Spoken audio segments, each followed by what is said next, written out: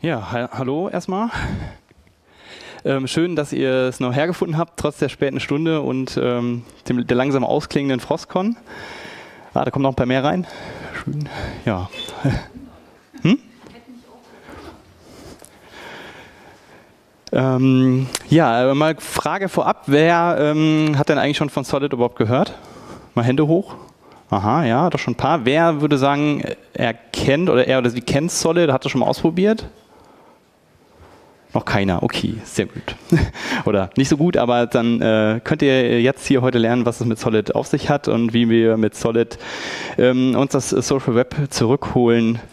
Ähm, Solid ist ein Projekt von Weberfinder Tim Berners-Lee. Ähm, er ging damit letztes Jahr ähm, an eine größere Öffentlichkeit. Das war auch schon vorher irgendwie öffentlich auf GitHub und ähm, das war jetzt nicht im Geheimen entwickelt, aber letztes Jahr hat das nochmal bekannter gemacht, ist damit auch in den Medien gewesen, ähm, haben vielleicht die einen oder anderen mitbekommen.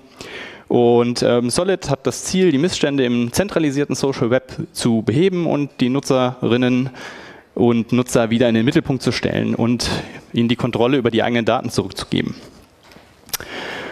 Ähm, kurz zu mir. Mein Name ist Angelo Feltens. Ich arbeite als Software-Developer und IT-Consultant bei Cocentric in Hamburg. Und ähm, das Interessante an dieser Folie ist aber eigentlich, ähm, dass all die Daten, die da drauf sind, die Informationen über mich, mein Bild, meine, mein Name, meine Rollenbezeichnung, ähm, dass die nicht statisch auf dieser Folie drauf sind, sondern dass diese Daten aus meinem Solid-Profil geladen werden. Ähm, und diese Folien sind einfach nur eine Webanwendung und die laden diese Daten aus meinem Solid-Profil. Ähm, das ist möglich, weil Solid mir als Benutzer die komplette Kontrolle und den Zugriff auf meine Daten gibt und ich die Freiheit habe, diese überall zu verwenden, wo es mir beliebt. Und ähm, wie das in der Praxis funktioniert, das äh, sehen wir noch im Laufe des Vortrags. Ähm, bevor ich aber näher auf Solid eingehe und die Rückeroberung des Webs, sollten wir erstmal einen kurzen Rückblick ähm, wagen auf, ähm, was wir eigentlich verloren haben und wie denn der Stat also wie es zu dem Status quo, den wir heute im Social Media, im Social Networking Bereich haben, ähm, gekommen ist. Das Web war eigentlich schon von Anfang an ein Social Web. Es diente dazu, Leute weltweit miteinander zu verbinden. Ähm, ich kann auch im klassischen Web eine HTML-Seite erstellen, die auf einen Webspace laden und ähm, mich mit anderen Webseiten verlinken. Ich kann inform interessante Informationen über mich, meine Hobbys, meine Arbeit als Webseite online stellen und auf Seiten meines Arbeitgebers verweisen, auf Seiten meiner Bekannten, meiner Kollegen, Kolleginnen. Ähm, ich kann als Verein eine Webseite erstellen. Hier habe ich mal die ähm, äh, die Version des äh, Chaos Computer Clubs, äh, der Seite von Chaos Computer Club aus den 90ern rausgekramt. Also das war alles auch schon im klassischen Web möglich, natürlich nicht so fancy wie heute, aber ähm, eigentlich war das Web schon immer ein Social Web, weil es darum geht, Menschen miteinander zu vernetzen und deren Interessen und deren Arbeiten und Forschungen. Ähm, also prinzipiell kann, konnte damals schon jeder mitmachen, weil man muss ja nur HTML lernen und das irgendwo auf dem Webspace packen. Aber natürlich war es schon eher so eine Sache für Nerds und Leute, die wirklich da ähm, äh, technisch, technisches Interesse hatten. Und es hat gewisse Einstiegshürden. Das änderte sich dann mit dem Web, mit dem sogenannten Web 2.0. Da wurde das ganze Web ein bisschen interaktiver und leichter zugänglich für die Nicht-Techies.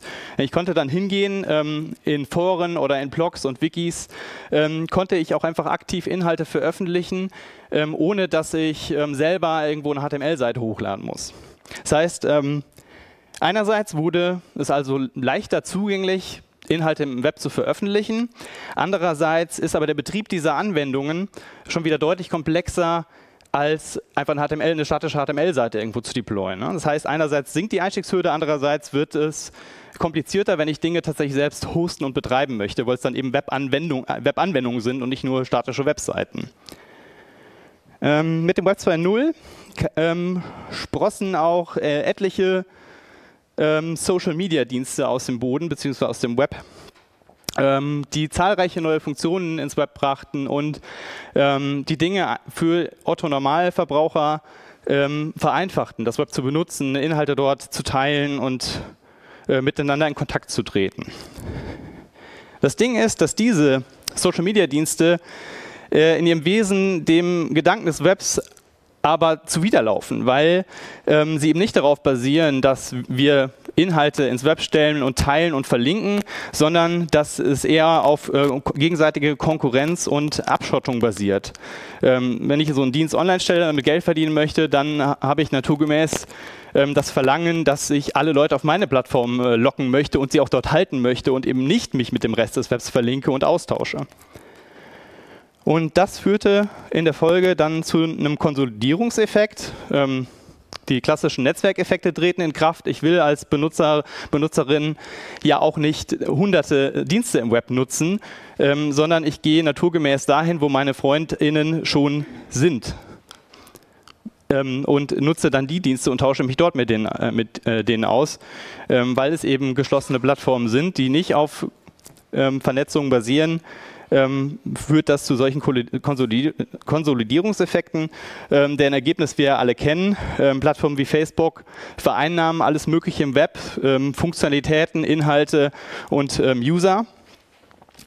Und ähm, als Mitbewerber, ähm, als äh, mitbewerbender Dienst habe ich da keine Chance. Ich muss letztendlich, äh, äh, folgt das Ganze einem Alles- oder Nichts-Prinzip. Entweder ich schaffe es, ähm, so gut zu sein, dass äh, alle zu mir rüberwandern und der Konkurrenzdienst, der vorher groß war, abstirbt. Das ist das, was mit vielen Konkurrenten von Facebook passiert ist. Facebook hat alles in sich aufgesaugt, die anderen sind abgestorben. Ähm, aber wenn mir das nicht gelingt, dann sterbe ich ja selbst. Sprich, der Mitbewer äh, Mitbewerber, ähm, die, die, Konkurrenz, der, der, freie Wettbewerb leidet darunter, dass ähm, ich als Mitbewerber eben, ähm, dass mir die Nutzerbasis fehlt und dass mir die Daten fehlen. Und ähm, auch im klassischen Web, in klassischen Blogs äh, besteht das Problem, dass ähm, ich äh, darauf angewiesen bin, die Netzwerke anzubinden. Wenn ich noch eine, also wenn ich ähm, zum Beispiel die äh, äh, Like-Funktionen und Share-Funktionen, Dinge, die man eigentlich cool findet und die, die die Social Networks mitgebracht haben, wenn ich die nutzen möchte, dann muss ich die von den Netzwerken anbinden. Und auch wenn ich eine entsprechende Reichweite erzielen möchte, bin ich darauf angewiesen, dass ich meine Blogposts zumindest in, äh, auf, auf solchen Plattformen teile, um überhaupt noch genügend Leute zu erreichen, weil auch immer weniger äh, Leute einfach sowas wie ein RSS-Feed abonniert haben. Sprich, alles konsolidiert sich auf zentralisierte Plattformen und ja, andere haben schlechte Karten. Jetzt kann ich versuchen, ähm, dem ein bisschen entgegenzuwirken, indem ich sage, okay, ich hoste alles selbst. Ich, ich gehe nicht auf diese Plattform. Ich, äh, es gibt ja alle, für alles Open Source Software, wie wir wissen, und ich äh, betreibe die Dienste einfach selbst. Und da gibt es auf ähm, GitHub eine tolle Liste, die heißt Awesome Self-Hosted. Da steht drauf, ähm, was es alles so gibt, was man selbst hosten kann. Ähm, und dann dachte ich, ja, bringe ich die mal auf die Folie, damit man da so einen Überblick mal hat. Äh, allerdings ähm, hätte ich diese Liste auf 58 Pixel Breite schrumpfen müssen, um sie in der vollen Länge hier raufzukriegen. Deswegen habe ich mich hier, was ihr da seht, das ist nur die, die, die, äh, das Inhaltsverzeichnis. Das ist nur die Liste der Kategorien an Software, die ich selbst hosten könnte. Und das ist, wie ihr seht, auch schon sehr klein geworden und äh, es ist einfach richtig, richtig viel. Und wenn ich das ernst meine und die Dienste, die mir Social Media, die, die zentralen Plattformen, die, die es im Web gibt, wenn ich die wirklich selbst hosten möchte, dann ist das eine richtige Mammutaufgabe. Und das ist eigentlich noch beschönigt, denn eigentlich ist es eine Self-Hosting-Hölle. Ähm, wir können es mal anschauen, wenn man nur die wichtigsten, die allerwichtigsten Dinge noch selbst betreiben möchte. Okay, ich habe einen Blog, ich habe Kontakte und Kalender, die ich irgendwie ähm, synchronisieren möchte. Ähm, ich habe Notizen, äh, Fotos, ich möchte Dateien mit anderen tauschen. Allein das ist, sind schon so viele Dienste. Ähm, wenn ich dafür jetzt jedes Mal eine eigene Anwendung betreuen äh, muss, äh, gute Nacht. Ähm, denn neben der eigentlichen Funktion kommen ja noch ganz viele Querschnittsaufgaben auf mich zu. Ich muss die Dinger installieren, ich muss sie aktuell halten, es treten Bugs auf, die muss ich eventuell sogar dann selbst fixen. Ich muss irgendwie damit klarkommen, dass ich Downtimes habe. Ich muss für Backups sorgen, ich muss meine Systeme sicher halten. Okay, es ist die Hölle. Ähm, das möchte ich eigentlich minimieren. Und ähm, da die wenigsten das machen wollen, hat es tatsächlich die meisten von uns einfach auf die zentralen Plattformen verschlagen. Es ist einfach auch bequem, diese zu nutzen. Und ja, wir sind deswegen aber heute oft gar nicht mehr im Web unterwegs, sondern auf Diensten wie Twitter oder auf äh, Instagram. Und wir kommunizieren über WhatsApp. Selbst bloggen tun viele von uns heute auf zentralen Plattformen wie medium.com. Das Ding ist, dass wir, dass wir durch, die, durch, durch die Nutzung dieser Plattform auch eine ganze Menge verloren haben. Ja, diese Plattformen tracken uns, überwachen uns, verfolgen jeden unserer Schritte, aber sie nehmen uns auch eine Menge Wahlfreiheit. Denn ich kann eben nicht mehr wählen, mit wem teile ich meine Informationen. Abgesehen davon, dass ich sie immer mit der Plattform teile und den Geheimdiensten, die dann Zugriffe äh, bekommen im Zweifelsfall oder sich die nehmen, ähm, äh, bin ich ja auch darauf beschränkt, meine Inhalte nur mit den Leuten zu teilen, die auf der Plattform sind. Die Leute, die gar nicht auf der Plattform sind, die erreiche ich ja gar nicht. Genauso bestimmen die Plattformen darüber, wie die Inhalte priorisiert, gefiltert und gefiltert werden. Ähm, wenn ich mit Leuten kommuniziere, dann bin ich darauf angewiesen, dass die Accounts von diesen Leuten nicht durch die Plattform gesperrt werden. Sprich, die Wahl, ich habe gar keine Wahlfreiheit, sondern ich muss mich vollständig den Regeln der Plattform unterwerfen und ähm, den Regeln dieser Plattform folgen. Und ich habe zum Beispiel auch nicht die Freiheit zu sagen, ich nutze eine andere App, um mit meinen Freunden zu kommunizieren. Selbst wenn ich sage, ja, ich, ich gehe, ich rede nur mit den Freunden auf der Plattform, ich will gar nichts mit anderen Leuten zu tun haben, ich, ich gehe auf diese Plattform, dann muss ich trotzdem genau die App nehmen, die mir die Plattform bereitstellt und habe keine Freiheit, irgendeine andere App zu wählen. Es ist zum Glück noch nicht alles verloren, denn das Web von damals, das existiert ja noch, das ist ja nicht weg. Der Erfinder des Webs, Tim Berners-Lee, sagte, I have always believed the web is for everyone. That's why I and others fight fiercely to protect it. Und genau dieser Kampf, diese Mission, das Web zu schützen und allen zugänglich zu machen, ähm, äh, Solid ist genau ein Teil dieser Mission. Über Solid sagt er, Solid is how we evolve the web in order to restore balance by giving every one of us complete control over data, personal or not, in a revolutionary way. Das heißt, Solid ist jetzt nicht einfach eine neue Anwendung, die entwickelt wird, wo wir sagen, ja, nutzt jetzt alles Solid. Das Prinzip hat wiederholt nicht funktioniert, sondern Solid ist eine Erweiterung des Webs, das wir schon kennen und das, wir, das, das schon funktioniert und sich bewährt hat. Und es geht darum, dass wir die Kontrolle über unsere Daten wiedererlangen und selbst über die Verwendung unserer Daten bestimmen können. Das ist genau das Gegenteil von dem, wie zentrale Plattformen funktionieren. Zentrale Plattformen sind eben kein Web, sondern es sind Datensilos. Wenn ich sowas wie Facebook nutze, dann sind alle meine Daten, die ich bei Facebook eingebe, alle Interaktionen, die ich auf Facebook mit anderen Nutzer, äh, Nutzerinnen führe, die sind alle zentral in diesem Datensilo von Facebook drin. Und Facebook sieht alles und kann alles kontrollieren, was in diesem Dilo, Dilo passiert. Es gibt dezentralisierte Ansätze. Vielleicht kennt ihr Diaspora, Mastodon. Ähm, die sind nicht schlecht. Ich will die gar nicht schlecht reden. Aber vom Grundprinzip her sind das auch wieder Datensilos, nur verteilt. Wenn ich bei Mastodon bin, dann kann ich auch wieder nur mit meinen Mastodon-Freundinnen und Freunden kommunizieren.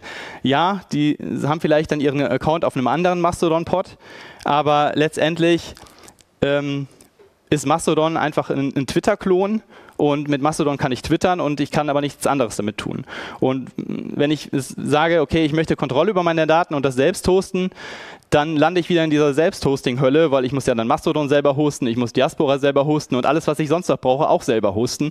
Und ich komme aus diesem Problem gar nicht raus.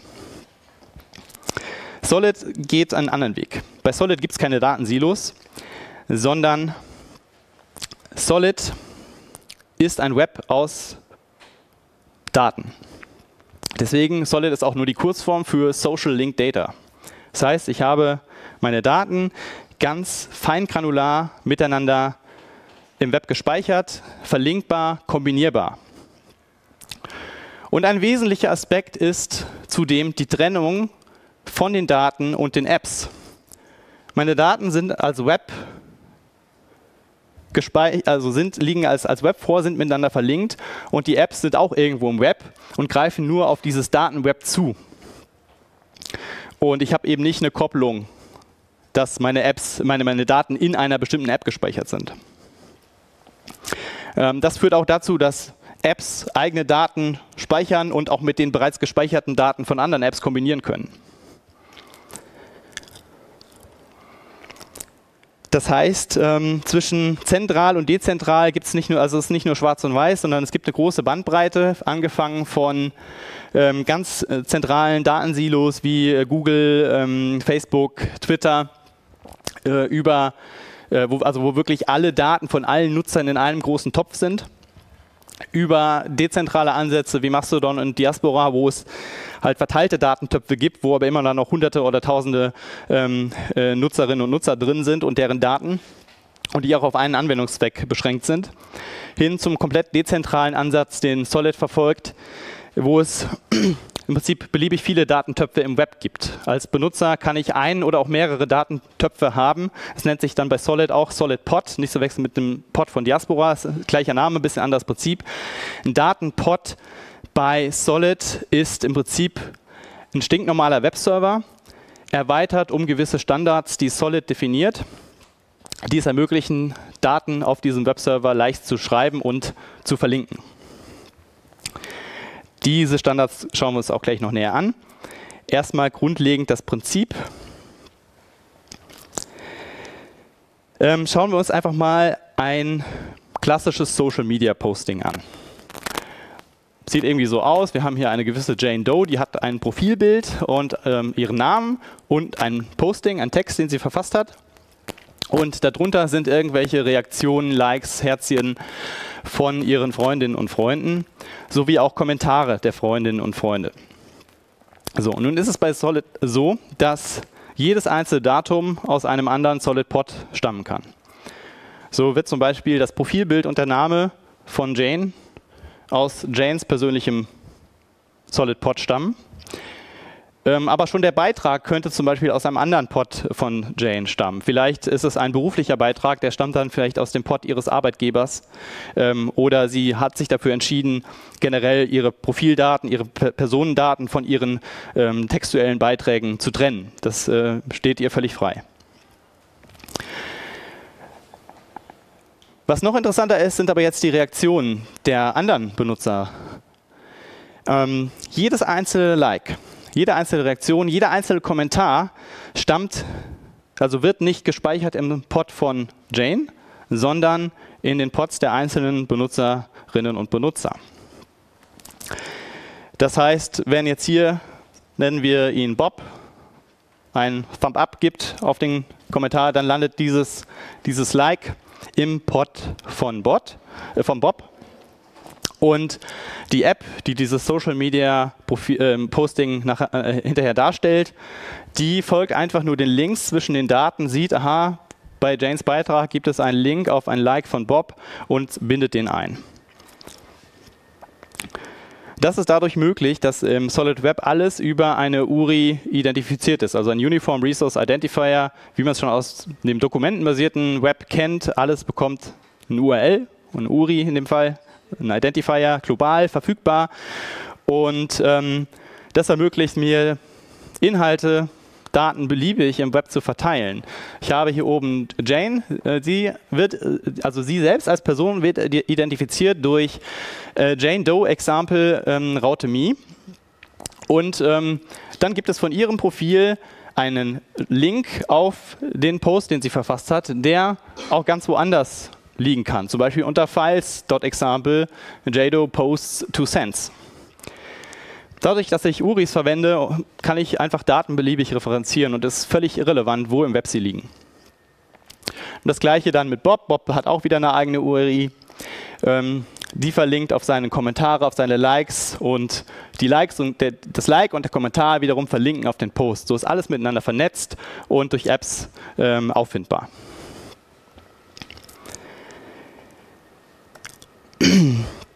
Das hat dann zugleich den Vorteil, dass ähm, mehrere Apps auf die gleichen Daten tatsächlich zugreifen. Also ich habe eine Trennung von Apps und Daten. Ähm, das heißt, wenn die App 1 jetzt äh, zum Beispiel das Like abspeichert, ähm, dann kann die App 2 das auch einfach sehen. Es ist einfach im Web, hat eine URI und äh, eine zweite App kann die einfach abrufen. Das heißt auch, ich kann beliebig zwischen Apps wechseln, ohne dass ich irgendwelche Daten verliere. Das klassische Problem, wenn ich bei einem Anbieter bin, ich möchte zum anderen Anbieter gehen, der im Prinzip das gleiche macht, äh, aber dann muss ich ja die Daten von Anbieter A exportieren und beim anderen wieder importieren und dann haben die komplett andere Datenformate und das passt nicht und äh, die wollen das ja auch gar nicht. Ähm, bei Solid habe ich das Problem nicht, weil alle Daten im Web verfügbar sind, über eine URI abrufbar und ähm, sie gar nicht an die App gebunden sind.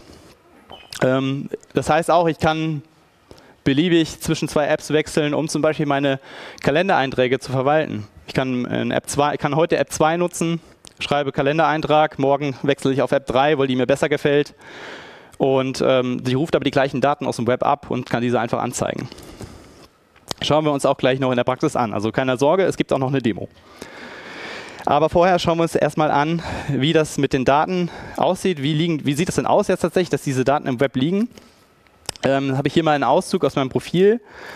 Ähm, das ist einfach ein, Do ein Dokument, äh, unter angelofeltens.org Profile Card. Das ist mein Profildokument, wo Informationen über mich, über meine Person ähm, drinstehen. Und da stehen dann zum Beispiel auch die Daten drin, die wir eben auf der Folie gesehen haben.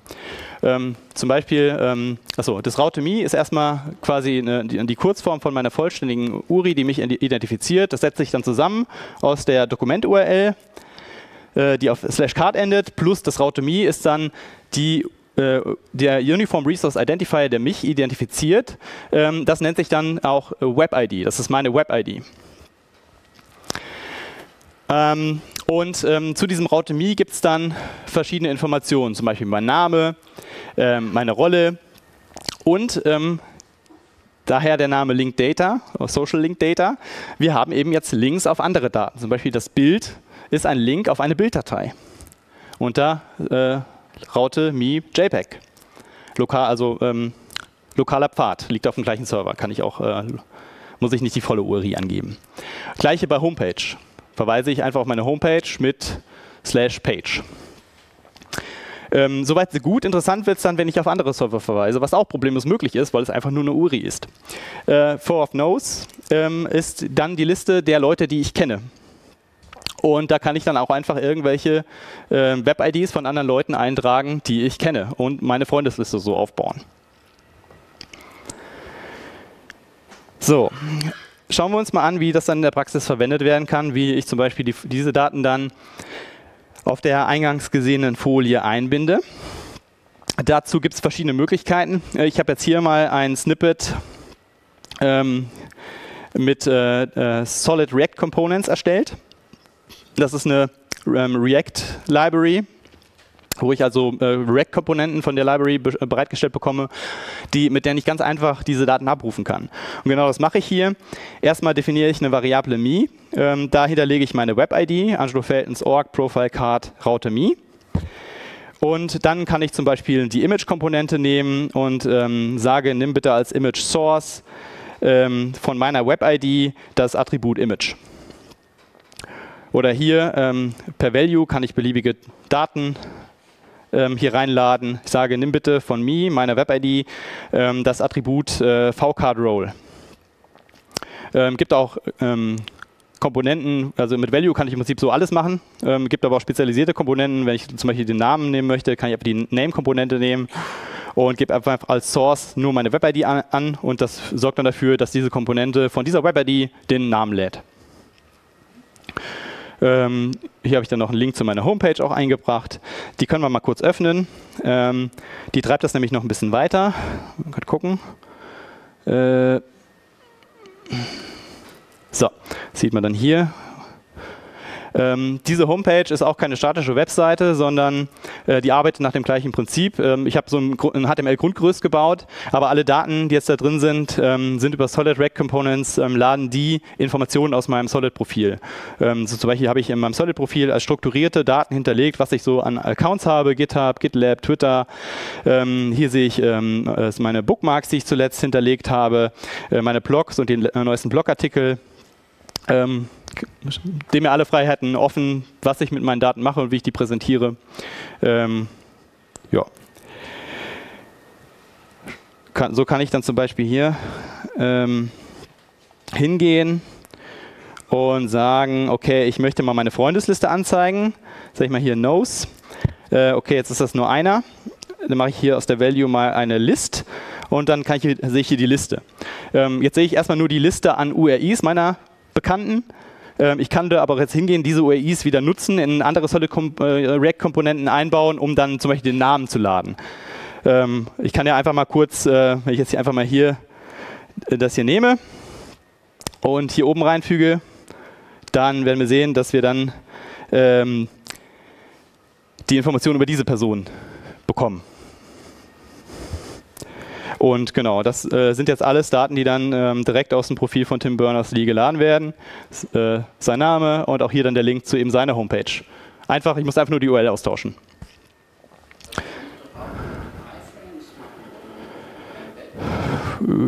Ja, nur dass du da äh, eben nur HTML-Seiten laden kannst und hier äh, lädst du feingranular Daten beliebiger, also beliebig, äh, kannst du beliebig in strukturierte Daten reingreifen. Ja, da kommen wir auch später noch zu. Also ähm, versuch mal äh, äh, bitte Fragen am besten notieren. Am Ende machen wir noch eine Fragerunde auf jeden Fall. Ähm, vieles wird sich auch noch klären. Wir kommen Beispiel sowas wie Zugriffsrechte kommen auch gleich noch dran. Ähm, beziehungsweise glaube ich jetzt sogar, äh, achso, nee, eine Sache noch, bevor ich jetzt hier weitergehe. Äh, so, ich wollte nämlich noch einmal in der Praxis zeigen, wie das Profil dann aussieht. Ähm, können wir uns auch mal gerade anschauen. Das ist die Seite, die mache ich mal zu. So. Das sieht hässlich aus, lasst euch davon nicht irritieren. Der Solid Server hat so ein äh, ganz rudimentäres äh, Webinterface auch, was aber echt nicht hübsch ist. Äh, am besten nimmt man spezialisierte Apps, um die Daten zu verwalten.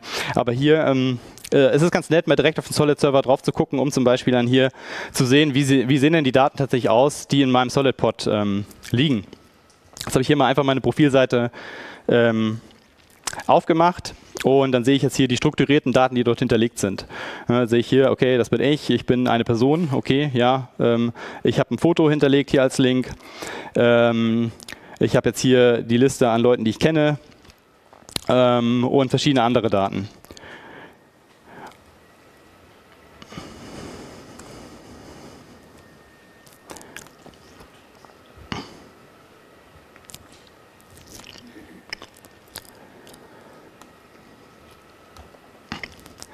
So, also wie, wie schon äh, auch angedeutet, Solid ist eben keine neue dezentrale Social Networking App, sondern ähm, Solid ist ein ganzes Ökosystem, ein komplett neues, neues Set an Standards.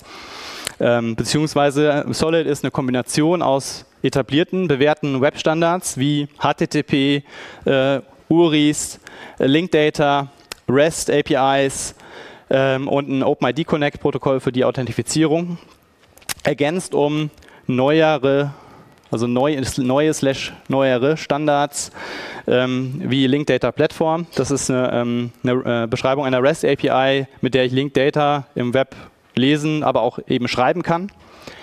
Ähm, Web, Web, Access Control ist der besagte ähm, Zugriffsschutz. Das ist ein äh, Standard, der dann definiert, okay, wie lege ich denn jetzt fest, auf welche Daten jemand zugreifen kann und welche nicht und mit welcher App. Ähm, Link Data Notifications ist ein Standard, um Benachrichtigungen zu senden. Wenn ich jetzt irgendwas in meinem Pod speichere, dann kriegt dann äh, eventuell meine Freundesliste das ja gar nicht mit. Deswegen muss ich, äh, wenn ich das kommunizieren möchte, auch irgendwie eine Benachrichtigung äh, senden, um das bekannt zu machen, was ich getan habe. Ähm, und äh, die Solid Community ähm, kümmert sich um die Umsetzung der Solid Vision. Sie arbeitet an den Standards, aber auch an praktischen Themen ähm, wie der App-Entwicklung äh, und äh, der Implementierung von von Solid-kompatiblen Servern. Ähm, gemeinsam mit der Firma Inrupt. Ähm, Inrupt ist ähm, eine neue Firma, die Tim Berners-Lee unter anderem gegründet hat, um die Solid-Vision Wirklichkeit werden zu lassen, um es auch ein bisschen aus dem akademischen Umfeld ähm, rauszuziehen und zu beweisen, äh, okay, das ist etwas, wo ich Venture-Kapital für kriege, hatte auch eine Menge bekommen ähm, und wo man auch wirklich dann, ähm, äh, dass man, äh, das etwas ist, was man wirklich auch praktisch nutzen kann, wo man auch Geschäftsmodelle darauf aufbauen kann. Ähm, genau, also Solid ist die Kombination aus alten und neuen Standards plus Apps und Server-Implementierungen, dann die diese Standards ähm, in die Tat umsetzen.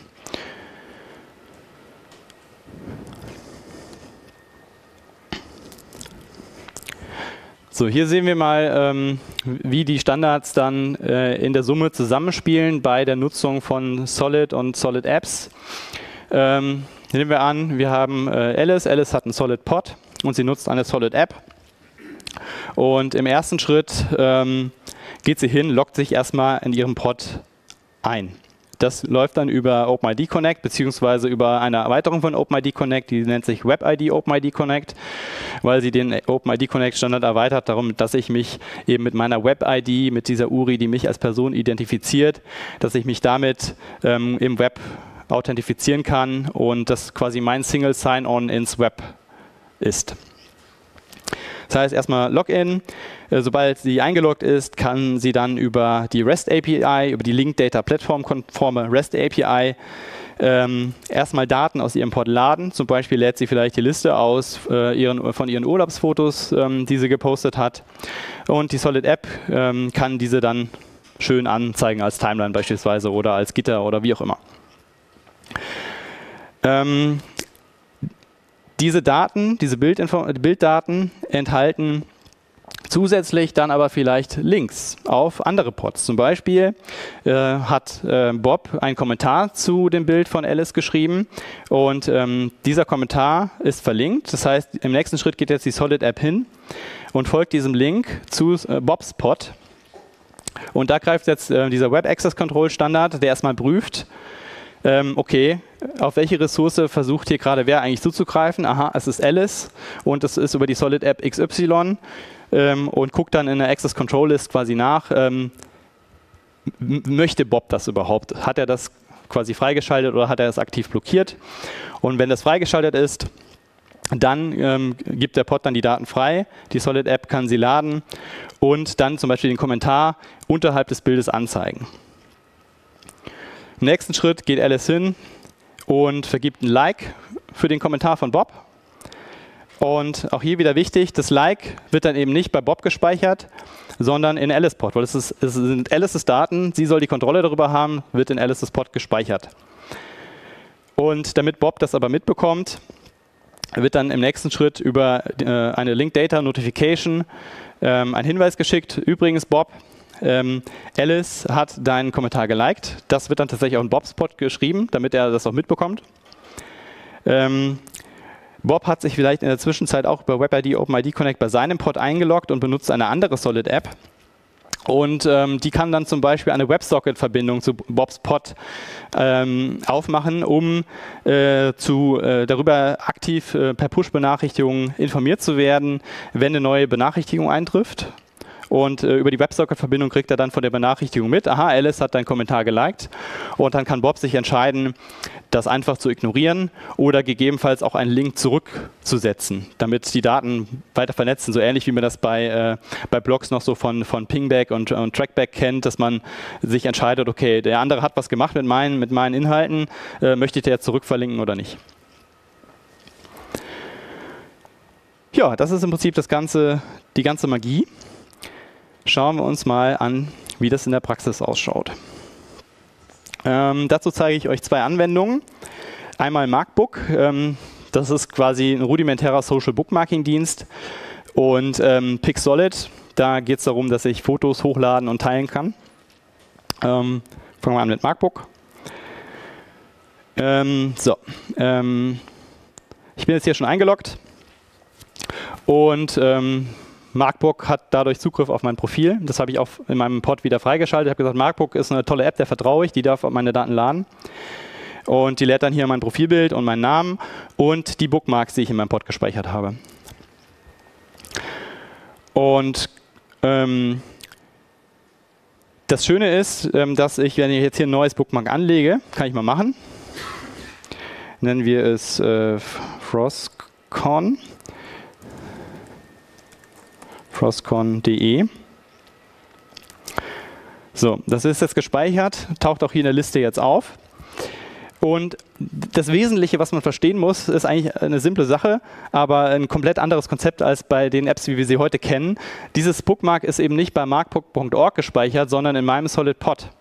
Und wenn ich mich jetzt entscheide, dass markbook.org eine doofe Anwendung ist, die mir nicht mehr gefällt und ich lieber Poddit nutzen möchte, das ist hier ein anderer Bookmark-Manager, den ich auch in meiner Bookmarkliste drin habe, da, linke ich, da gehe ich jetzt einfach mal drauf, jetzt zu Poddit wechsle, dann habe ich da alle meine Daten drin, weil die sind ja nicht in der Anwendung drin, sie sind ja in meinem Pod. Das heißt, das Lesezeichen, was ich gerade in Markbook eingelegt habe, ist ja hier im Poddit auch direkt drin. Gleich. sind, sind fast durch. äh, oder hast du eine Verständnisfrage zu dem, was ich gesagt habe? Ich brauche dann einen eigenen Server, wo ich meinen Kram muss, damit es da gespeichert wird. Kannst du machen, musst du nicht. Kommen wir auch gleich noch zu.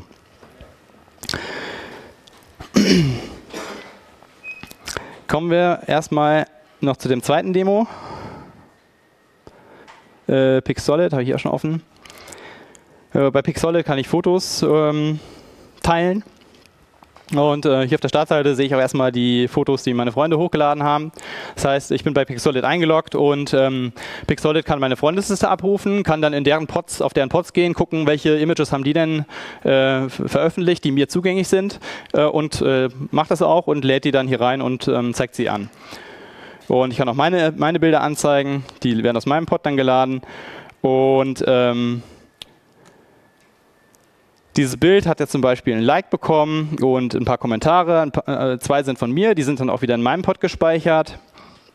Und aber auch hier ein Kommentar von Carlos zu diesem Bild, der aber dann in Carlos Pod gespeichert ist, nicht in meinem Pod und auch nicht bei Pixolid. Bei Pixolid sowieso nicht. Ähm, das Lustige ist ja, dass ähm, eine Solid-App in der Regel äh, komplett kleinseitig ist. Sie braucht überhaupt kein eigenes Backend. Das ist einfach eine JavaScript-Applikation, die über die Solid-Standards auf Solid-Pods zugreift und die Daten daraus lädt und einfach aggregiert. Ähm, genau, das ähm, sind also alles jeweils dann hier Daten aus den Pods der jeweiligen User. Können wir auch noch mal kurz einen Blick reinwerfen. Ähm, habe ich mein Profil noch offen? Ja, hier.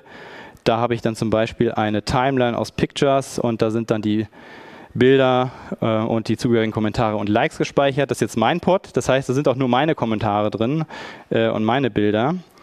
Äh, gucken, ob ich das hier finde. Ja, das ist es nicht.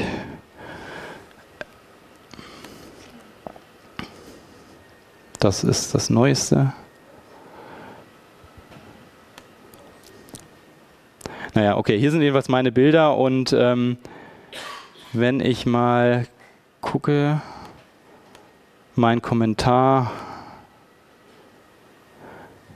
So, hier habe ich zum Beispiel einen Kommentar geschrieben, der ist jetzt auch hier in meinem Pod drin.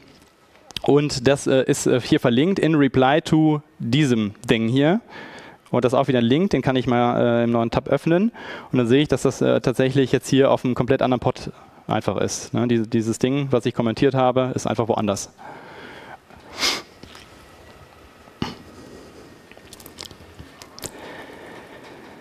So.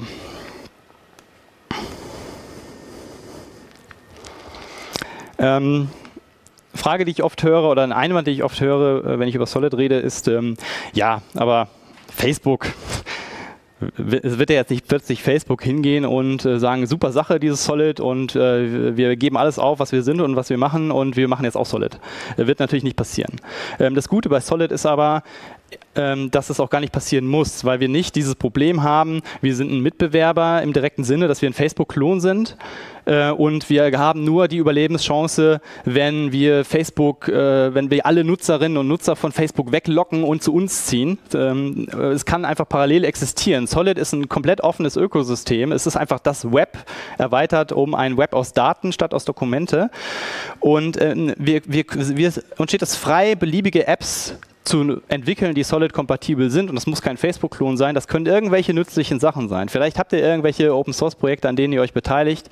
Ähm, könnt ihr mal gucken, ob es nicht Sinn macht, da in irgendeiner Form Solid-kompatibel zu werden. Ne? Das, das, steht uns frei, ähm, einfach Solid als Plattform zu nutzen, das Web als Plattform zu nutzen, um gute, nützliche Anwendungen zu erstellen und ähm, die Nutzerinnen und Nutzer werden diese Anwendung dann nutzen oder nicht. Und äh, es ist keine direkte Konkurrenz zu Facebook, aber es kann äh, in, in kurz oder lang dafür, dazu führen, dass äh, man irgendwann die Notwendigkeit für einen zentralen Dienst wie Facebook gar nicht mehr hat, weil er uns einfach auch zu sehr einschränkt und ich im Solid Web alles tun kann, was ich tun möchte und äh, Facebook eigentlich einen langsamen, un, äh, unspektakulären Tod stirbt. Ähm, was wir aber auch noch machen können, ist, ähm, wo, wo er gerade in der Debatte ist, dass Facebook auch eigentlich viel zu groß und zu mächtig ist und man Facebook eigentlich aufsplitten möchte äh, oder sollte, ähm, dann sollten wir, wenn wir Facebook aufsplitten, es richtig aufsplitten. Äh, und mit richtig, richtig finde ich, äh, es einmal horizontal aufzusplitten. Sprich, wir haben einmal Facebook den Datenprovider, der nichts anderes tut als Daten speichern und Daten bereitstellen. Und wir haben einmal die auf der anderen Seite die Facebook-Apps, die einfach die Daten aus vom Facebook-Provider nutzen können, um das zu tun, was sie halt tun. Facebook Messenger, äh, Facebook Timeline, whatever. Und wenn man das hat, dann braucht man nur noch zu sagen, okay, diese Schnittstelle hier, da nutzt ihr bitte Solid-Standards. Nutzt, nutzt, offene Standards, im Idealfall Solid-Standards. Ähm, weil das führt dann dazu, dass ich plötzlich ein, wieder einen offenen Wettbewerb habe auf beiden Seiten. Oben auf Seiten der Datenprovider und unten auf Seiten der Apps. Denn ich kann dann hingehen und sagen, okay, ich nutze die Facebook-App, ist okay, die finde ich gut und ich lasse auch meine Daten bei Facebook gespeichert. Ist okay, kann ich machen. Sind viele Leute vielleicht nach wie vor glücklich mit. Aber ich kann auch irgendwann hingehen und sagen, der Facebook Messenger, der nervt mich so rum. Ich will zwar bei Facebook bleiben, aber ich nutze den Messenger XY und kann trotzdem mit meinen Facebook-Freunden darüber kommunizieren, äh, weil Daten und Apps getrennt sind.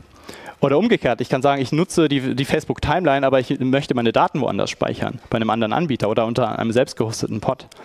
Das heißt, hier haben wir genau das, was wir eigentlich verloren haben, ähm, wieder zurückgewonnen, nämlich die Wahlfreiheit auf zwei Ebenen. Die Wahlfreiheit, wo speichere ich eigentlich meine Daten und wem gebe ich Zugriff darauf? Und die zweite Wahlfreiheit, welche Apps nutze ich eigentlich, um auf meine Daten zuzugreifen, um mit anderen zu kommunizieren, um meine Daten zu verwalten. Und das kann ich mit Hilfe von Solid-Standards. Ähm, und was deine Frage auch betrifft, muss ich alles selbst hosten? Also ähm, nee, musst du nicht. Das sind wir auch wieder bei dem Teil der Wahlfreiheit. Ich kann entscheiden zu sagen, ich vertraue nur mir selbst. Ähm, ich hoste meinen eigenen Solid Pod. Aber viele Leute sind vielleicht nicht so IT-affin und wollen sich damit nicht rumschlagen und sagen, okay, ich gehe zu Provider XY und äh, gebe ihm 10, 15 Euro im Monat und der macht das für mich. Oder ich sage, okay, ich möchte, mir ist das scheißegal, ich habe nichts zu verbergen, ich gehe zu irgendeinem kostenlosen Anbieter, der meine Daten hostet und der damit auch Werbung schaltet und whatever, Hauptsache kostenlos. Kann ich auch machen. Das ist genau der Punkt. Ich habe die Wahlfreiheit. Jeder hat die Wahlfreiheit, dann zu tun, was er oder sie für richtig hält und ähm, wir sind nicht äh, an ein geschlossenes Ökosystem gebunden. Und ich denke schon, dass auch bei Solid einfach viele den Weg gehen werden, zu sagen, nein, ich möchte es nicht selbst hosten. Das ist auch völlig in Ordnung. Aber die, die es selbst hosten wollen, die können das tun. Und sie können mit all ihren Freundinnen und Freunden im Web trotzdem in Kontakt treten. Und auch für die Selbsthoster wird es einfach wird alles deutlich einfacher. Wir sind aus dieser Selbsthosting-Hölle entflohen, weil der Solid Pod dann das Einzige ist, was wir selbst hosten müssen. Weil die ganzen Apps, das sind dumme, kleinseitige Apps, die brauche ich nicht selbst hosten. Ich habe eh meine Daten in meinem Pod, das, das hoste ich selbst, die habe ich unter Kontrolle. Die Apps, kann ich irgendwas nehmen. Das ist eben möglich durch die Trennung und durch das Prinzip der verlinkten Daten.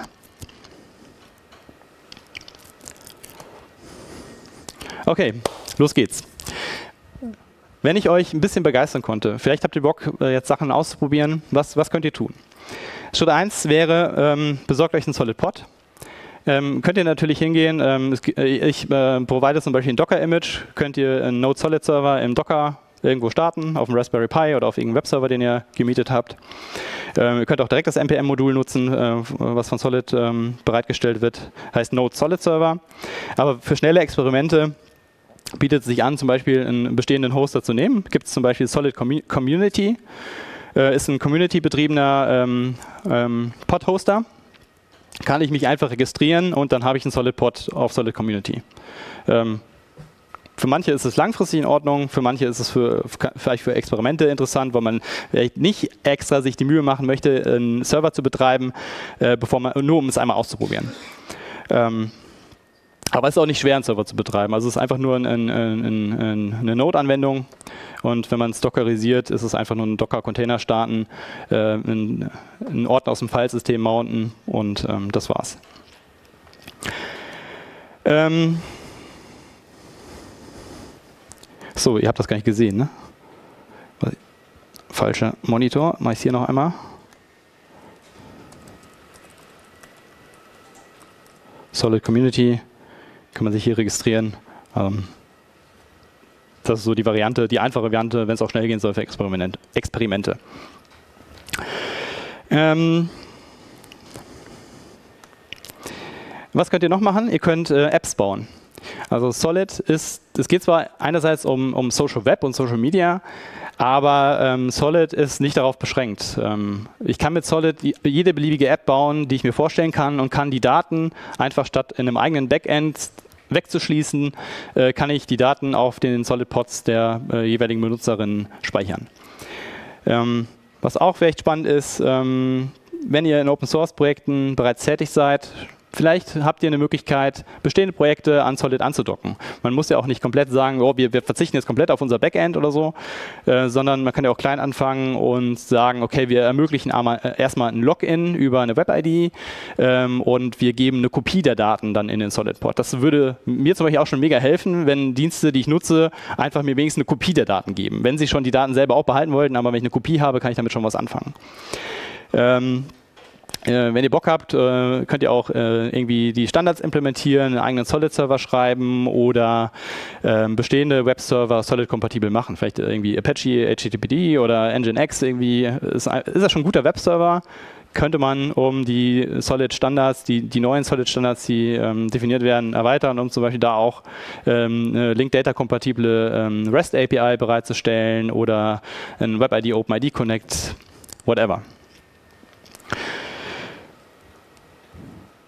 Ähm, was wir auf jeden Fall brauchen, ist, wir brauchen viele Entwicklerinnen und Entwickler, weil es eine ganze Menge zu tun gibt. Äh, viele Apps wollen entwickelt werden. Äh, der Node Solid Server braucht auch ähm, viele Leute, die mitwirken. Und ähm, man hat es eben gesehen, so diese Web-Oberfläche vom Node Solid Server, die ist auch echt hässlich und vieles in Solid, äh, bei Solid ist sehr experimentell und hässlich. Also wenn ihr irgendwie äh, zum Beispiel euch mit UX und UI gut auskennt und euch da einbringen wollt, wäre es auch eine super Gelegenheit, äh, das Ganze ein bisschen schicker zu machen. Ähm, also ganz, ganz viele Möglichkeiten. Und ähm, wenn ihr Teil der Community werden wollt oder zumindest mal reinschnuppern wollt, ähm, habe ich ein paar Links für euch noch.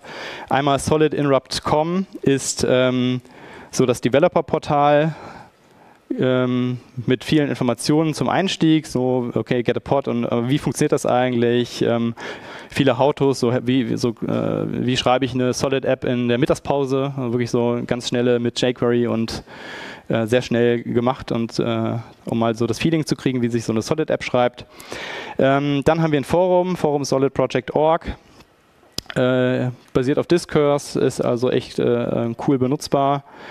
Ähm, da ist eigentlich auch immer was los, kann man Fragen stellen, ähm, kann sich austauschen. Und äh, zudem haben wir noch Gitter-Chats Gitter diverse ähm, über Node Solid Server, ähm, App Development, über die Spezifikationen und vieles mehr. Und ähm, ansonsten findet ihr alles auf GitHub. Also Solid ist komplett Open Source natürlich, alles offene Standards. Das heißt, sowohl die Spezifikationen als auch äh, alle möglichen Beispielanwendungen, ähm, Libraries, Toolkits findet ihr alle bei github.com/solid. Jo, dann sind wir jetzt bei den Fragen angelangt oder auch bei Diskussionen.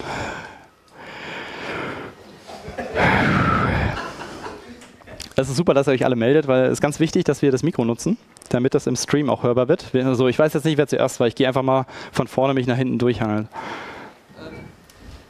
Ist es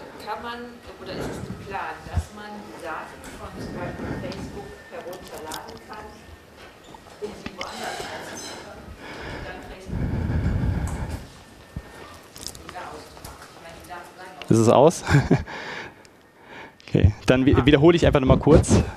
Ähm, die Frage war, ist es geplant, die Daten von Facebook in irgendeiner Form nutzbar zu machen, sie zu importieren, äh, um sie dann im SolidPod zu speichern? Ähm, ja, ist geplant. Ähm, das Gute bei Solid ist, ist es wirklich ähm, ein Projekt, wo ganz, ganz viele Leute mitarbeiten und auch die unterschiedlichsten Ideen und Projekte aufkommen. Und ähm, das ist eine naheliegende Frage, die sich halt auch schon viele gestellt haben, wo auch Leute daran arbeiten, was aber tatsächlich in der Praxis auch nicht so einfach ist, wo Facebook sich da mit Händen und Füßen gegenwehrt. Ähm, zwar hat Facebook eigentlich die Pflicht, spätestens jetzt nach äh, der Datenschutzgrundverordnung alle Daten rauszurücken, aber ähm, sie zögern das ähm, komplett hinaus, äh, geben dann nur Ausschnitte raus, obwohl sie eigentlich mehr rausgeben müssen. Und es ist ein Kampf. Ähm, Ruben Verbock, äh, einer der äh, Solid äh, äh, bei Solid mitwirkt, der hat gerade tatsächlich echt so ähm, ein, ja, quasi Rechtsstreit mit Facebook laufen, um an die Daten ranzukommen. Äh, das zieht sich schon seit Monaten hin. Und ähm, ich hoffe, wenn er damit durchkommt am Ende, weil das wird er, das ist nur eine Frage der Zeit eigentlich, weil es einfach sein gutes Recht ist. Ich hoffe, dass es dann für andere auch leichter wird, an die Daten ranzukommen. Und dann ähm, ist es auch wieder ein bisschen äh, einfach eine Entwicklungsaufgabe, äh, einen Transformer zu schreiben, der die Daten von Facebook einfach in ein solid-kompatibles Format bringt. Aber der Zugriff auf Facebook verlangt da auf jeden Fall eine Authentifizierung auch. Ne? Ähm, ich habe noch nie in sozialen Medien. Ja, ja, klar. Also, also das, man kann jetzt nicht einfach Daten von Facebook äh, runterladen. Ja, das heißt, man äh, muss oh. sich authentifizieren, um da überhaupt dran zu kommen ja. und dann hinterher kann man die auch. Ja, also ähm, die Idee wäre dann, dass man einfach äh, seinen eigenen Facebook-Account nutzt, die Daten einmal exportiert und dann vielleicht von Facebook weggeht. Ähm, wenn man eine Synchronisierung haben will, wird es vielleicht noch ein bisschen schwieriger, ähm, aber auch das wäre denkbar. So, nächster, mal hier durch. Ja, also ja, ich will keinen übergehen, das ist gerade echt ja, unübersichtlich. Ich habe eine Frage zu diesem Beispiel mit den beiden Nutzern, die du so gezeigt hast. Ja. Da ähm, macht ja der Bob einen äh, Kommentar. Äh, wer kann denn den Kommentar jetzt überall sehen auf AlicePod? Wer legt das fest? Mhm. Ähm, also den äh, Kommentar, den Bob schreibt, der liegt erstmal auf Bobs Pod. Und Bob kann bestimmen über, den, äh, über die Web Access Control List, ähm, also, ähm, wer darauf zugreifen ähm, darf. Das heißt, im Idealfall wird der Alice das Zugriffsrecht geben, weil der Kommentar ja auf Alice ähm, äh, Bild sich bezieht. Ähm, aber er kann das auch sagen, nur Alice kann darauf zugreifen oder die Öffentlichkeit kann darauf zugreifen ähm, oder eine bestimmte Gruppe an Leuten. Das ähm, ist alles denkbar, das kann Bob spezifizieren.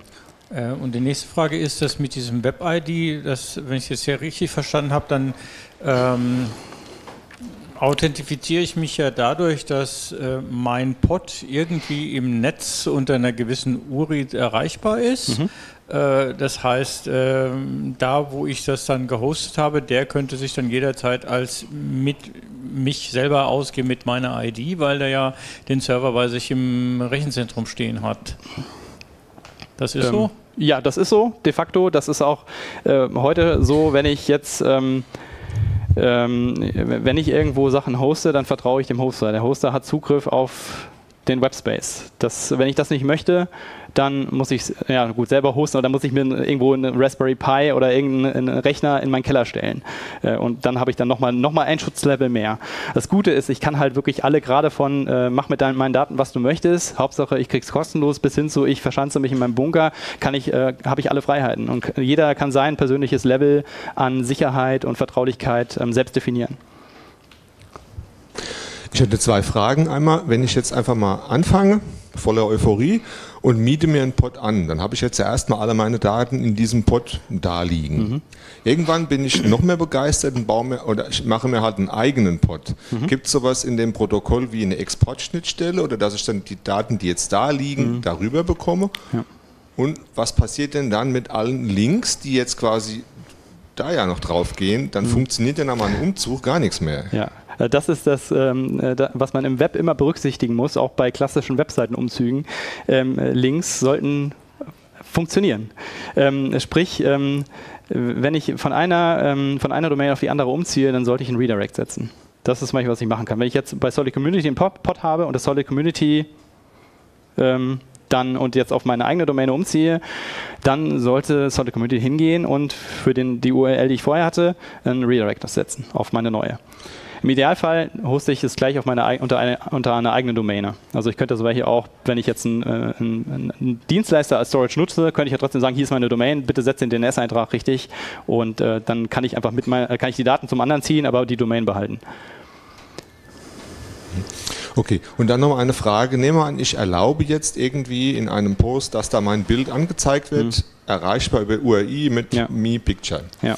Äh, jetzt ist ja dieser Link im Prinzip da und den habe ich jetzt bei dem und bei dem und bei dem freigegeben. Jetzt geht mir einer davon auf den Keks, jetzt möchte ich diesen Link quasi sperren. Mhm. Kann ich jetzt dann explizit eine Anwendung verbieten, dass die dann, dass sie dieses Bild anzeigt. Ja, also sprich, wird bei jedem, jedem Linkzugriff im Prinzip die Authentifizierung geprüft. Ja, also du kannst einzelne Anwendungen sperren oder einzelne Nutzer.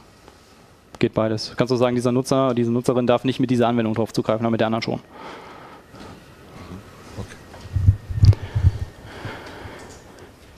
Am, am, besten, ähm, der Fairness halber, sehr viele sind, jeder erstmal nur eine Frage und äh, wenn dann, dann die Runde durch ist, kann man dann noch eine zweite stellen. Okay, Oder kommt einfach, wir haben, ich habe auch noch viel Zeit heute, ich bin noch bis morgen da, wir können auch nachher noch diskutieren. Ja. Dann eine Frage, also du hast jetzt die Apps im Browser gezeigt, wie sieht es denn aus mit mobilen Apps? Ähm, äh, mobile Apps gehen theoretisch auch. Ich weiß nicht, wie die Praxis da soweit ist. Ähm, äh, ist aber jetzt also ist nicht beschränkt auf mobile Apps grundsätzlich das Prinzip.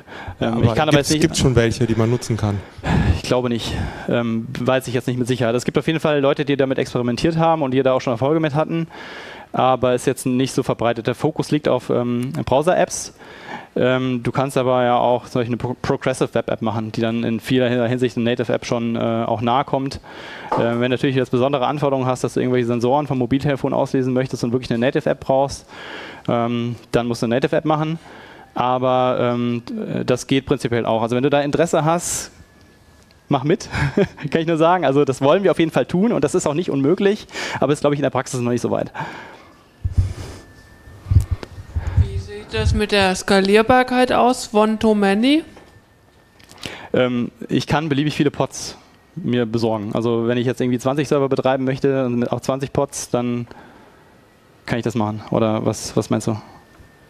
Ja, bei mehreren Pods, ob da Probleme auftreten. Ähm, meinst du, ob die App dann Probleme hat, weil sie so aus so vielen Quellen laden muss? Oder? Ja. Ähm, bis jetzt in der Praxis nicht. Also kann sein, dass es Performance-Probleme irgendwann gibt, aber generell ähm, so eine Web-App, die ähm, auch wenn ich jetzt irgendwie 1000 Freunde habe mit, mit 20.000 Bildern, ähm, zeigt ja eine App nie alles auf einmal an. Also auch klassische Web-Apps, die wir heute kennen, die haben ja dann irgendwie ein Continuous Scrolling und so und laden dann immer nur so viele Daten nach, wie tatsächlich aktiv gerade gezeigt werden. Das heißt, ich habe nicht das Problem, dass ich jetzt plötzlich meinen Browser 20.000 HTTP-Requests macht, sondern äh, immer nur vielleicht 10, 20 und das ist absolut handelbar.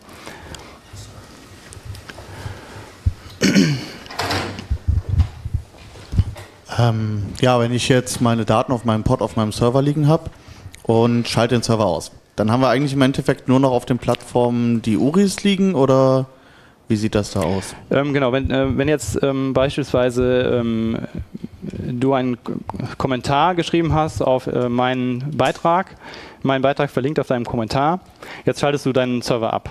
Wenn ich jetzt die App aufrufe, dann wird dieser Link dann auf ein 404 stoßen oder auf ein 500 oder was auch immer. Und ähm, die App ist dann hoffentlich so gut programmiert, dass sie nicht zusammenstürzt, sondern dass sie einfach das ausblendet oder vielleicht auch einfach einen, einen Platzhalter einblendet, gelöschter Beitrag. Das hängt natürlich davon ab, dass die Apps auch vernünftig programmiert werden und mit solchen Fehlern umgehen können. Das ist ganz wichtig, wenn man Solid-Apps entwickelt, die müssen in dieser Hinsicht absolut resilient sein und mit solchen Fehlern umgehen können, weil die werden auftreten. Das macht ja dann Diskussionen in Kommentaren unübersichtlich in Bezug darauf, dass teilweise vielleicht manchen Leuten aufgrund von Rechten oder weil es ausgeschaltet ist, äh, Kommentare nicht angezeigt werden, oder? Möglicherweise. Die Frage ist es unübersichtlicher, als wenn eine zentrale Plattform bestimmte Leute blockt oder ich einzelne Leute gesperrt habe und die ausblende. Das Problem ist jetzt nicht Solid-spezifisch. Ja, für mich sah es jetzt so ein bisschen aus, als hätte man im Prinzip genau das gleiche wieder gemacht, was wir halt schon mit äh, Diaspora hatten, wo das dann halt aufgetreten ist. Ja, konnte das selbst hosten. Die breite Masse ist dann doch auf einer zentralen Plattform, mehr oder minder zentralen mhm. Plattform gelandet. Ähnlich ist das ja jetzt auch gerade bei Mastodon. Und hm. abgesehen mhm. davon, dass ich jetzt hier halt spezielle Formate sehe, was mich so ein bisschen an Semantic Web, da war ja auch FOF, RDF-Data, so sah genau, es aus. Genau, das ist eine technologische ähm, Grundlage dafür. Also im, im Endeffekt sehe ich jetzt immer noch die gleiche Sache wieder. Wo war jetzt genau der Unterschied? Der Unterschied ist, dass ähm, ich die komplette Wahlfreiheit habe, wo ich meine Sachen hoste. Wenn jetzt irgendwie 90% der Nutzer zu einem Server gehen wollen, ja, okay, dann ist das so. Wo ist das Problem?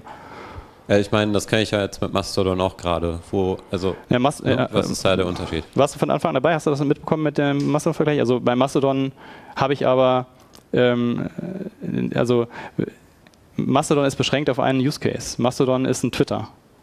Und wenn, äh, dann habe ich nur eine Twitter-Funktionalität. Bei Solid habe ich im Web äh, kann ich alle Funktionen abbilden, die ich möchte. Kann alle Apps programmieren, die ich brauche und äh, die können miteinander interagieren.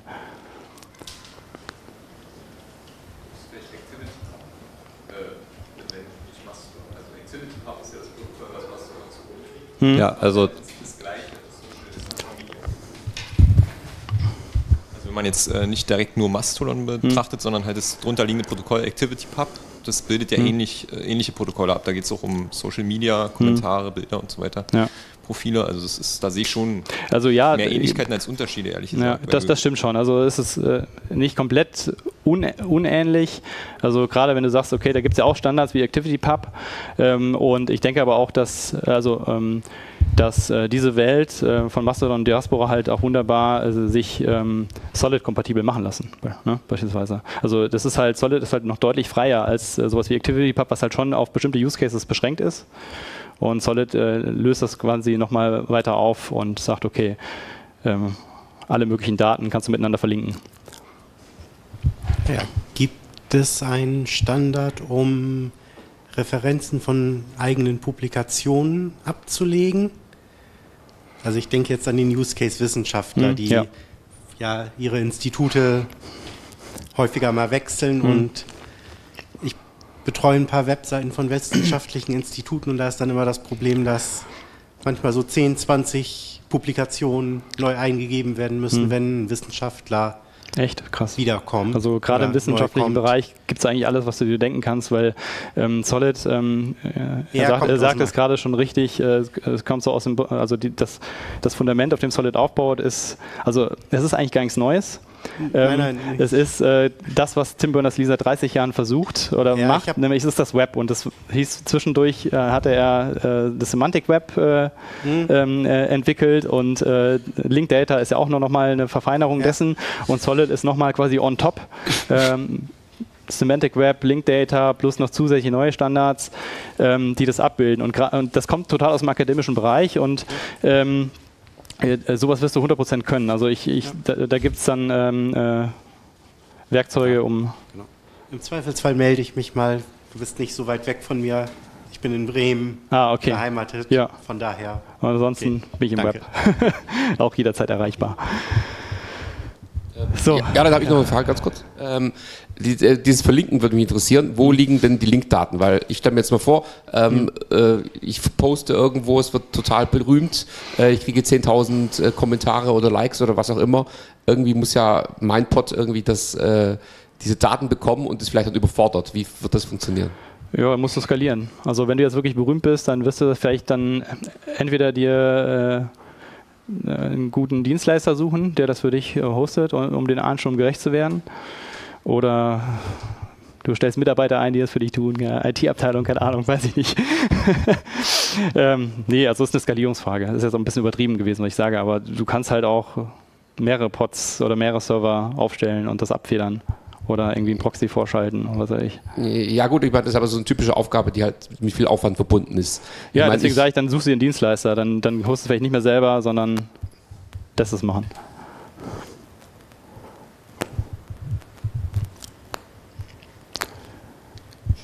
Du kannst ja auch nochmal als Ergänzung dazu. Das heißt ja nicht, dass du mit all deinen privaten Daten plötzlich zum Dienstleister gehen musst. Du kannst ja auch differenzieren zwischen dem, was du öffentlich machst und was dir eh egal ist. Das kannst du bei irgendeinem Hoster hosten, wo du sagst, okay, das ist eh öffentlich und da gehen halt die tausenden Links rein.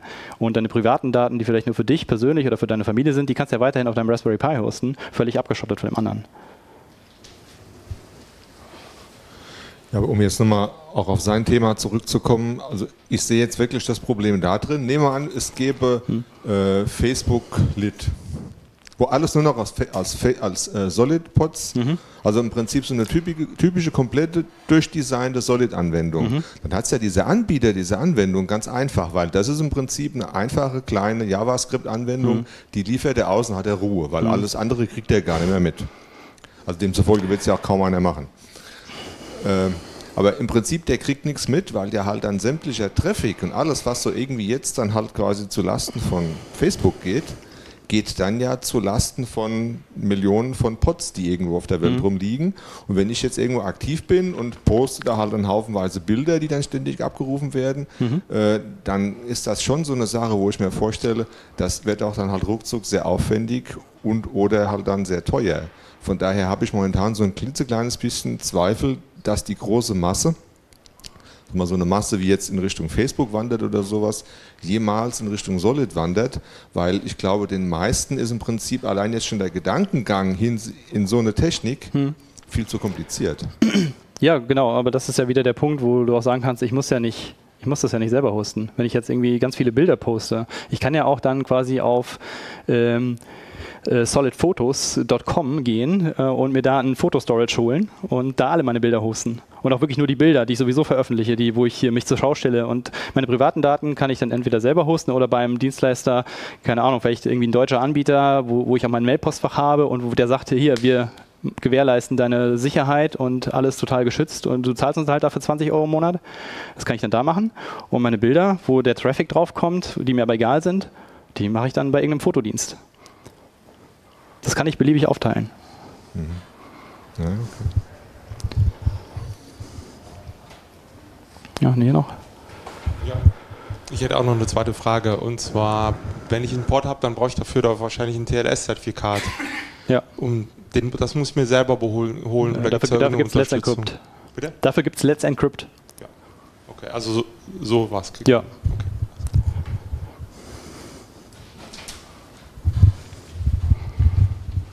Ähm, wie sieht das generell, also wir haben ja hier eine gewisse Rechteverwaltung drin, aber ich denke jetzt mal an so ähm, Sachen, die dann, ähm, das heißt ja hier auch, man kann dann verwalten, so die Person in der App und so weiter und so fort, kann das und das sehen. Aber ist die Frage, muss ich dann darauf vertrauen, dass die App das verwaltet oder ähm, gibt es da irgendwelche Verwaltungstools sinnvoll für, um diese Rechte halt zu- ja, Also ähm, ich kann für alles eine App programmieren in Solid. Das heißt, es kann auch dann 20 verschiedene Apps geben, die nur darauf äh, fokussiert sind, die Rechte zu verwalten. Und da suche ich mir eine aus, die mir gefällt oder programmiere mir eine eigene. Ähm, da habe ich halt alle Freiheiten auch wieder und kann dann mit dieser App meines Vertrauens ähm, die Rechte verwalten. Ähm, oder ähm, ähm, wo es wahrscheinlich aber auch darauf hinausläuft, ist ein gescheiter Solid Server wird halt die Rechteverwaltung als vernünftige App auch schon vielleicht integriert haben, so ich direkt auf meinem Solid Server über eine Web-Oberfläche die Rechte setzen kann. Und im Zweifel, was ich auch immer machen kann, es sind alles letztendlich Textdateien. Ne? Solid, die strukturierten Daten bei Solid ist wie die HTML-Seiten im, im bekannten Web, ähm, sind Textdateien letztendlich, die ich auch editieren kann. Ich kann mit meinem BIM darauf gehen und die Rechte selber setzen, wenn ich keinem vertraue. Das macht ja nicht der Standard-User. Hm? Textdateien bearbeitet ja nicht der Standard-User. Nee, nee, ich sage ja nur, das sind wieder unterschiedliche Anforderungen. Ne? Wenn du sagst, du vertraust dir nicht, dann, wenn, wenn du es so weit treiben möchtest, dann, ja, wir müssen Schluss machen. Aber ähm, ich bin auch da, ähm, wir können auch vor der Tür noch quatschen oder irgendwo. Ansonsten, äh, jetzt ist es ausgegangen, angelofeltens.org ist mein Solid Pod und wenn ihr den Links folgt, findet ihr alle möglichen Kontaktmöglichkeiten, äh, GitHub, Twitter, whatever.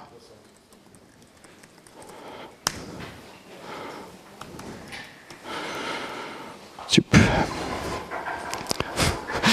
Danke.